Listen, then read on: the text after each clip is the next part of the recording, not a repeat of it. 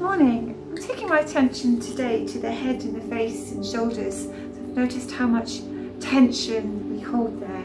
Slightly lighter note too. Let's have some fun with this. Um, head weighs a lot, 12 pounds, 5 kilos and rests on a little disc. And so when we're leaning forwards all the time with this texting and looking at screens, it's putting an awful lot of pressure down on the neck.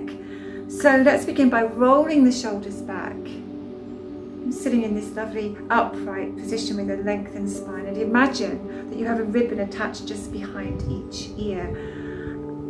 And there's a balloon on each ribbon and that's just gently tugging up back of the skull. So you're not putting your head forwards or back sitting and just allowing the neck to lengthen and feeling the back of the skull lifting so that the head's positioned in an, an ideal place above the spine. So then you can take your attention to the jaw and move the jaw around. And if you think you look ridiculous or I look ridiculous, then laugh, great. You're using more muscles to smile than to frown. And then take a point to focus on and soften the eyes on that point. Soften the eyes.